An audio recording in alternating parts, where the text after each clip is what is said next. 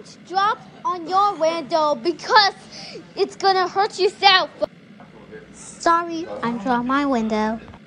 That's where you get to drop your window.